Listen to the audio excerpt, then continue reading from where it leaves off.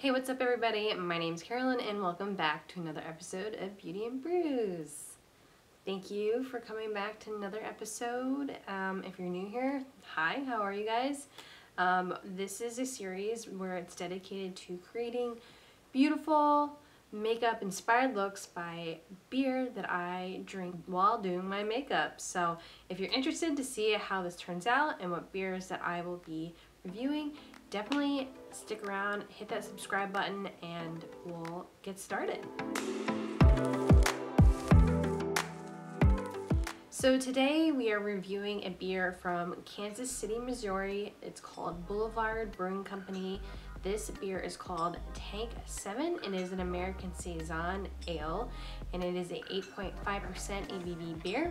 I don't normally drink Saisons, but for today's beer, I've asked the Instagram followers to cast their votes on what beers they want to see in this week's episode. So if you're interested in voting for any of the beers that I'll be showing on this series, go to my Instagram. It's called Nylorac, which is Carolyn backwards and underscore beauty and brews. I don't think you can miss it. So hit me up on Instagram. You'll find more on there than you'll see on the YouTube channel. So yeah, let's go ahead and get started.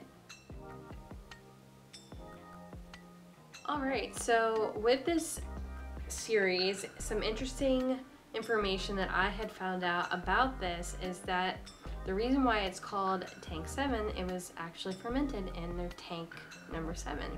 So this beer is like a 3.8 on Untappd and I was interested because I normally don't ever drink farmhouse ales and if you're not familiar with that term it's a farmhouse ale it is a Belgian traditional style with this beer in particular so it has a fruity aromatics, citrusy balance, dry and hoppy perfection. With most farmhouse ales, it's gonna have like a peppery, dry finish at the end of the sip. And it's gonna be moderately carbonated and most likely will be like a golden color. Let's go ahead and crack this baby open. I am thirsty. Happy Friday, y'all.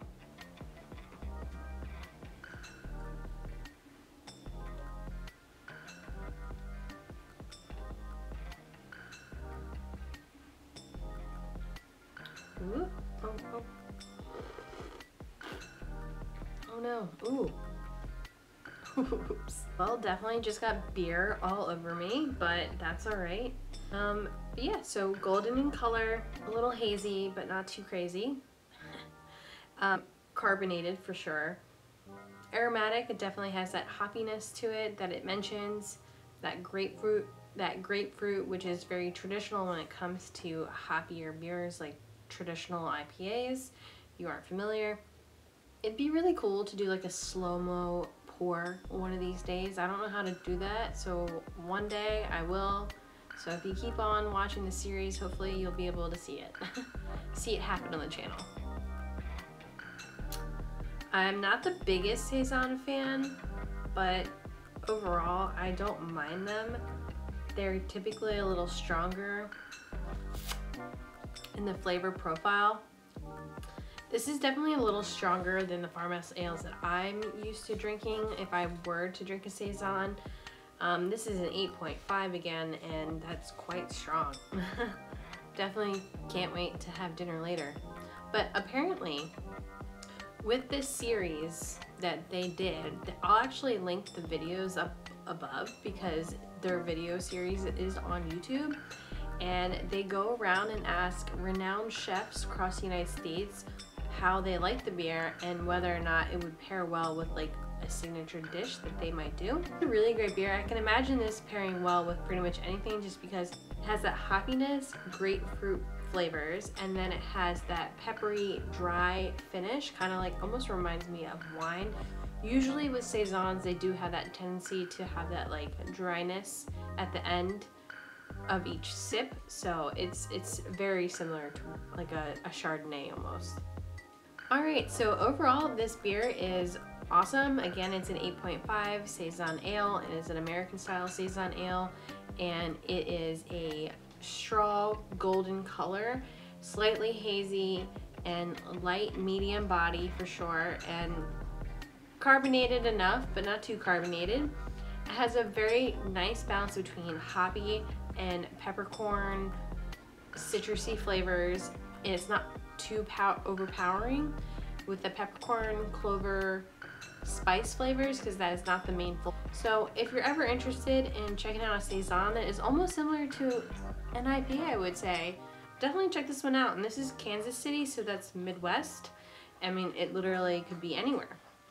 So let's go ahead and drink this while I go ahead and do my makeup. Alright, for today's episode, we're going to go ahead and use the Juvia's Place Zulu palette. We're going to use that aqua color, and we're going to use the red in the palette as well. And then we're going to use a black from the Violet Voss Essentials palette. That black is like very pigmented and very buttery. So I think they'll blend well together. So let's go ahead and start this look. So for this video, I'm gonna go ahead and prep my eyes with the Pretty Vulgar Eye Primer and then we'll go from there. I actually really like this primer. It does get pretty tacky and it works really well with majority of the eyeshadows that I've used. Now I'm wearing mascara already, so I really don't want to take that off again because I'm lazy. Let's be real. No need to, no need to use more mascara, right? I'm already starting to feel the effects of this beer. All right, so we're taking the Juvia's Place Aqua color here. Don't know if it has a name or anything. Yeah, I've been really into this palette as of lately. I just got it last week. If you're interested in buying from Juvia's Place, you're probably gonna wait about a month to get your product, so.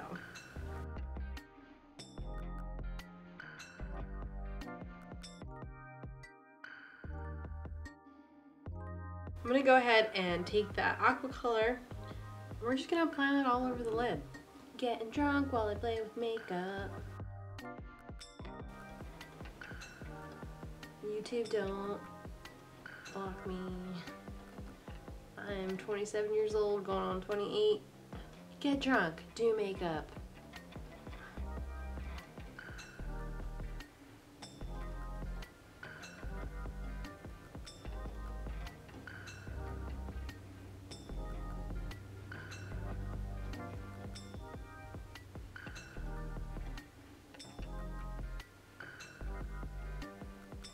Perfect. I'm gonna cut this up a little bit, you know. You know what I'm saying? Cut it. I'm taking a Morphe brush and, ooh. I'm doing a half cut crease, okay guys, because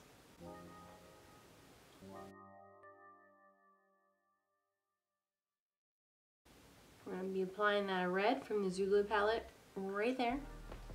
We're to apply this beautiful red color right here first, but first, more beer.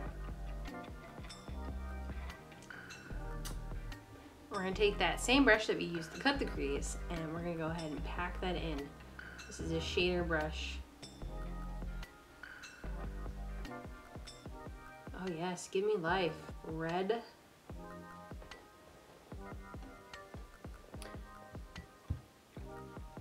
Definitely has some pink in there, but the more you pack it on, it doesn't look bad.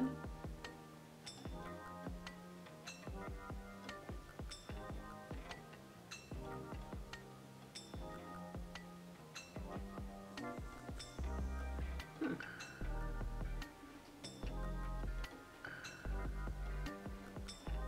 we're going to take that aqua color again and we're going to go ahead and buff that in to that. Not trying to blend that too much because it will make like a blue hue around the red and the blue where they connect. So we're taking a Sigma brush and we're gonna take the black from the Violet Voss palette Essentials and we're gonna go ahead and kind of like just tap that on the mirror and we're gonna lightly add more depth into this eyeshadow look.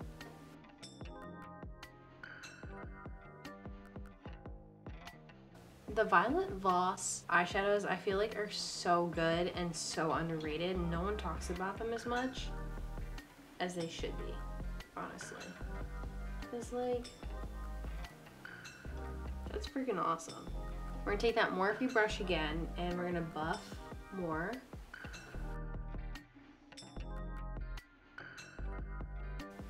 I'm just gonna try to like blend these two together as best as I can.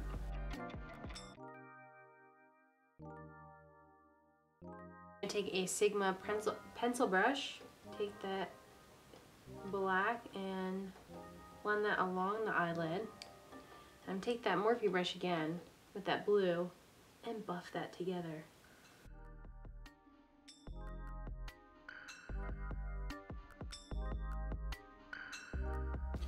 Alright, so we're to go ahead and take a little bit of that blue. We're to go ahead and take the pencil brush that I have from Sigma and we're to go ahead and blend that into the black and then we're to take that blue, blend it in.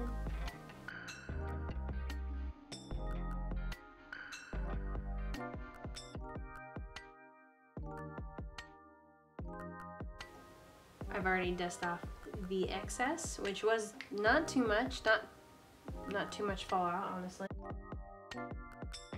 What do you guys think so far?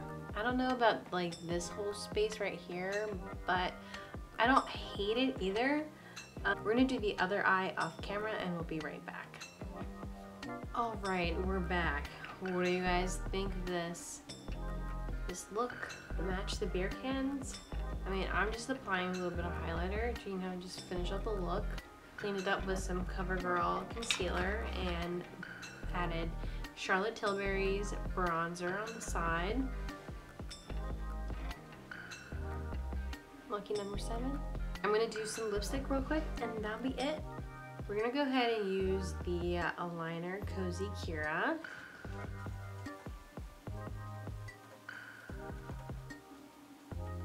Next we're taking a ColourPop, a liquid lip, and adding that onto the lips. This is the shade Love Bite.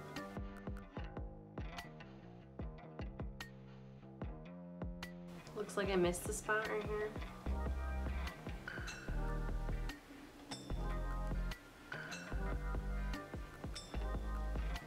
All right, everybody, what do we think?